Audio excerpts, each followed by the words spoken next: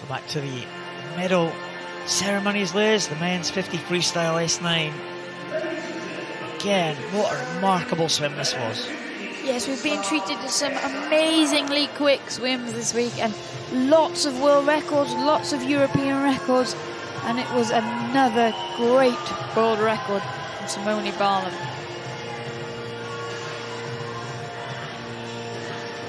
Well, Simone Barlaam, incredible week that he's had. European record in the 100 freestyle. World record in the 50 freestyle.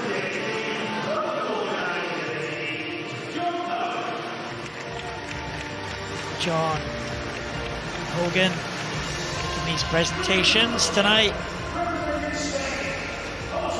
And Jose Antonio Mari Alcaraz. Well, what a great servant he's been to the Spanish team over the years. Yeah, but he's another one of those athletes, very experienced, 29 years old. But we still think of him as a young gun. He's always there or thereabouts. He had a few difficult years, and it's great to see him back on the podium. Such a close contest for the silver and bronze. Could have gone absolutely anywhere in the field. Mari Alcaraz, the bronze. This man, Iurii Bozhynskyi from Ukraine, picking up the silver. Really fast time, 26.43 for Bozhynskyi.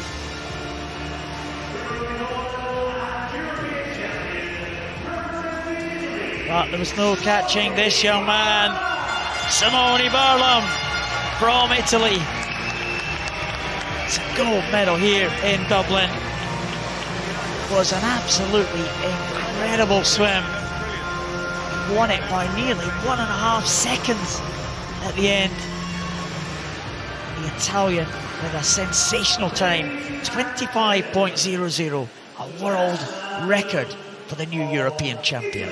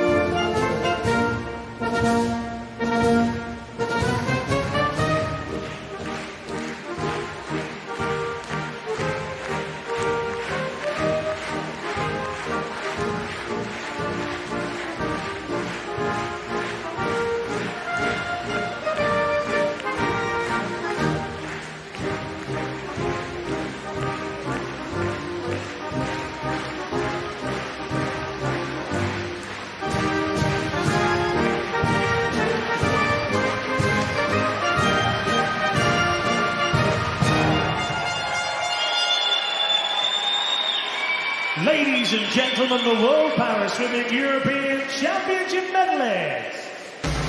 Well, what can you say about Simone Barlaam? He is absolutely incredible.